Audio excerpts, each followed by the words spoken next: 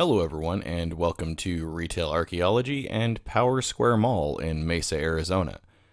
Now, this is a mall that I've covered a few times over the years on the channel, and this will probably serve as the last update video for Power Square Mall. The mall was just recently sold, and it will be closing at the end of October 2021. This footage was filmed on October 16th while the last few remaining tenants were having their closing sales. All that's left are two antique stores, the Bon Worth Old Lady Clothes store, and then an eBay store business that's over on the other end. This mall is much smaller than it used to be. Most of it has been converted to a self storage place now, but it seemed like they were really going to try and make a serious effort to keep this one last long corridor of the mall alive. However, when the mall's one anchor, which was a VF Factory outlet store, closed, I kinda knew at that point that this mall's days were numbered. When this mall opened in 1987, it was an outlet mall. Everything in here was outlet stores. However, over the years, more and more outlet malls have been built, and some of the ones that have been built since this mall opened have already started to die. Another issue with this area is the changing demographics. This Love and Life After 50 magazine is a good example. There used to be a lot of families with young children around here, but now it's a lot of senior citizens that live in the area. I grew up pretty close to this mall, and we used to do like back to school shopping and stuff here when I was a kid, so it's really weird to see it like this. I mean, it's been a dead mall for a lot of years, but this is the emptiest and worst I've ever seen it. While it is sad to see another mall that I've covered on this channel over the years permanently close, the good news is that this mall is not going to be demolished. The new owners plan on renovating and repurposing the building. Another good piece of news is something happened that hardly ever happens, and that's the new owners actually reached out to me, letting me know that they would be okay with me coming down and filming and documenting everything one last time before they start making permanent changes. The new owners are Lumos Arts Academy, and they've actually already moved into the mall. They're currently occupying the old VF Factory outlet space, and they were actually nice enough to open that up to me and let me film what they've done in there so far and I think what they've done so far is pretty creative.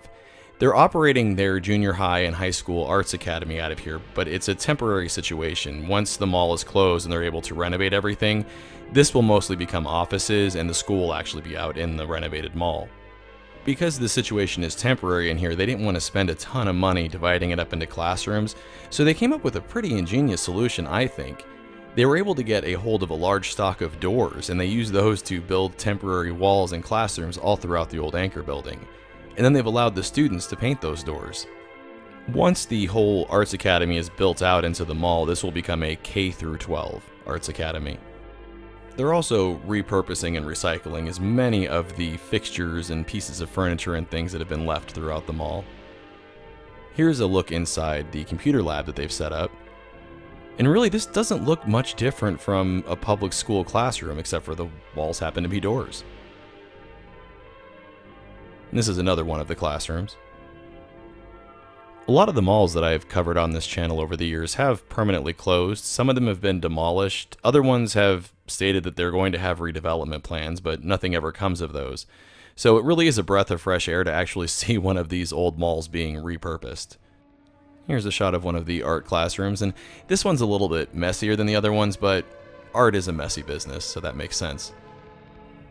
Once they're done using this as a temporary school and they're completely moved into the mall, they plan on actually reusing some of these doors as artwork throughout the main corridors of the school. The plan is to have them hanging from some of the walls and the ceilings and things like that, kind of like the doors in Monsters Inc. The idea is to preserve some of the history from when the school first opened. Here's another really creative idea. Through that hole you can see there's a mattress between some of these doors. This is one of the music rooms, and in order to dampen some of the sound so that it doesn't echo all throughout the old anchor building, they put mattresses between the doors in the music rooms. I just love the way that they're repurposing and recycling things in order to do things more cost effectively. This is also interesting. This is the old dressing room for the VF Factory outlet store, and they're using this as the backstage area for the drama department. You can see some of the costumes hanging back there. It's so weird being in here now because I can distinctly remember trying on clothes in these dressing rooms when we were doing back to school shopping when I was a kid. And here's a look inside the temporary auditorium they've built. Now, unfortunately, it is pretty dark in here, but you can see the seats, and there's a stage here as well. Once everything's in its permanent home, they do plan on having performances open to the community, so I think that's pretty great too. Here's a look inside the dance studio they put together, and I love that they used a lot of old mirrors instead of spending money on a big mirrored wall that's going to be temporary. Some of these doors are pretty neat. I love the piranha plant there over to the right. And I'm recognizing some artwork from other franchises as well.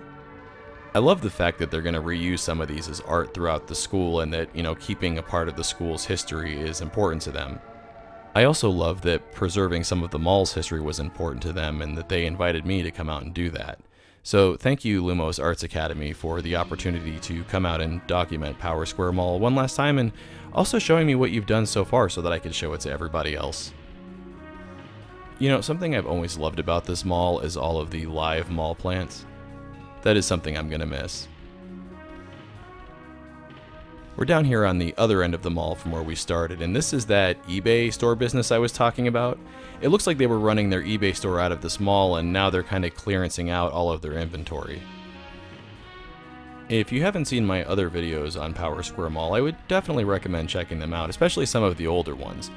Some of the footage isn't the best, but you can get an idea of how big this mall used to be. Back when I first started covering this mall a few years ago, there were still national stores in here.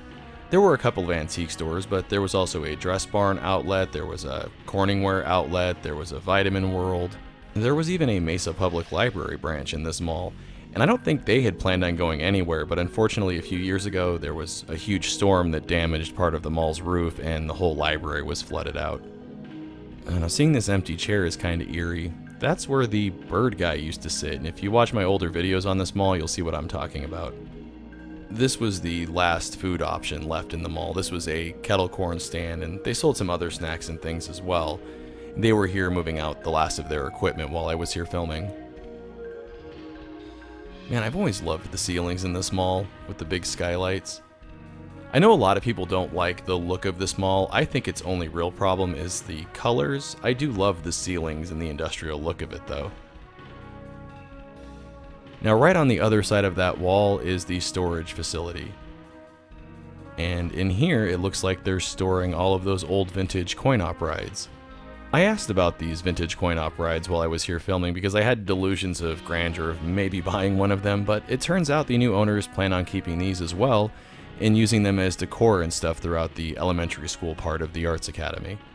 These vintage coin op rides were another thing that I always loved about this mall. I did notice the Batmobile looks like it's missing though. That was my favorite one. I really don't see these types of things around stores and places anymore, so it was always really cool to have such a concentration of them here. This really was one of my favorite dead malls, even when it became, you know, less than half the mall it used to be. I did still enjoy kind of roaming around this one main corridor, and it was always a lot of fun to check out the antique stores.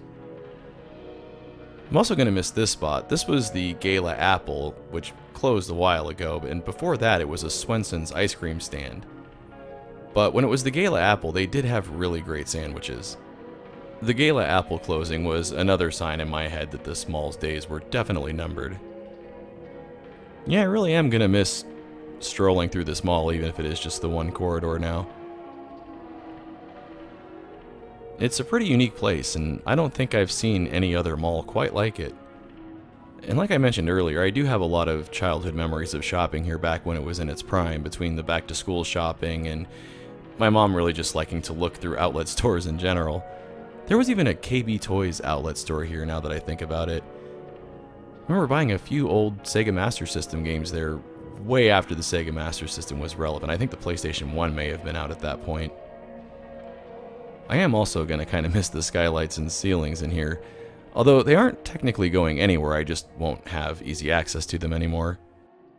I think of all the malls that I've covered that have now closed, this one has probably had the happiest ending. I mean, the mall is permanently closing, but the building is going to be repurposed and reused. And I think that's a much more dignified ending for a mall than meeting a wrecking ball or sitting empty and rotting until a wrecking ball is necessary.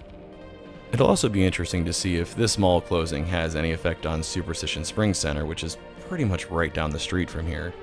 Like, I wonder if that Bon Worth old lady clothes store ends up moving to Superstition Springs Center because there are some vacancies there. I'm also happy that these mall plants probably won't die. You know, when I went through and filmed Metro Center Mall after it closed, it was just planter after planter with a dead plant in it.